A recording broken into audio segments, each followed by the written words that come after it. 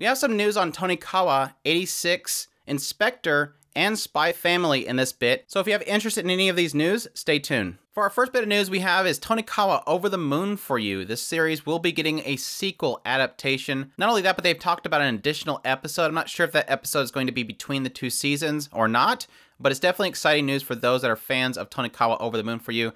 I have not finished the series, but I'll definitely be going back and checking it out. It was a series that I was okay with and I was interested to see more of, so to hear that it has a second season has me equally more excited. Additionally, Crunchyroll has already announced that they will be airing this particular sequel, so you know where to get it from. For those unaware of the series, it essentially follows a guy who has a chance meeting with a girl.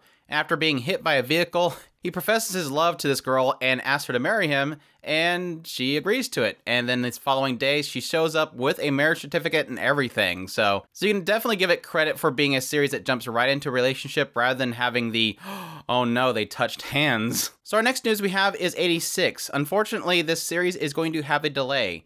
They have already announced following the broadcast of the 17th episode that unfortunately the 18th episode will be seeing a delay. They have cited production circumstances on their official Twitter feed and instead will be doing a special broadcast in its place. The official website lists this special episode as being a visual commentary special program. The assumption is it'll be some sort of recap, but we'll have to wait and see. But either way, it is sad news, but at the same time, based on what's going on in the series, it's probably a lot of combat they're having to animate, and if they need some time, I'll give them some time. At least they're not doing last minute delays, and it actually looks like their production is out by at least a week, so it's a good sign for the future of the series. I just hope this doesn't snowball into them having future delays in the future, or at least trying to cram at least one episode out to get ahead again. For our next bit of news, we have In Spectre. This series has been a long time since we had the first season, and we did get an announcement of a second season. It's just been quiet for quite a while on when this series is actually going to be coming out. Well, thankfully, in December's issue of Kodansha's monthly shonen magazine, we finally have that answer.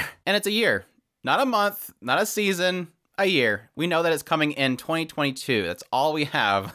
But at least it's something at this point. Now, In Spectre is a series that I had a lot of hope for and a lot of love for just based on the character designs and the setup. But I unfortunately won't say it's a series that captivated me, mainly in the idea that it felt like a lot of the story arcs just drug out. But even still, just based on the characters, the chemistry, and what they had set up, I am interested to see more of the series. It follows a guy that meets a girl that is an intermediary between humans and spirits and it follows them as they essentially take on different mysteries about the world, including an idol ghost that is attacking people and whatnot. And like I said, the chemistry is very solid. I really do like the character designs.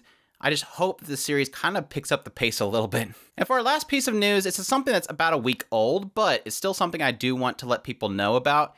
It's a series that I've been actually excited for for quite some while. I think we mentioned this particular story in one of our discussional podcast episodes that it was kind of leaked that this series was getting an anime adaptation. But yes, Spy X Family or Spy Family, however you want to say it, Spy Cross Family, I'm not exactly sure how they pronounce the X in there, but or if they don't. But yes, a website has opened for the series for an anime adaptation of it. So it's now official that this will be getting anime adaptation. And thankfully, we already have a time period which is 2022. The story essentially follows a man who is given like the ultimate mission, and that mission is to procure a family and to infiltrate a private school.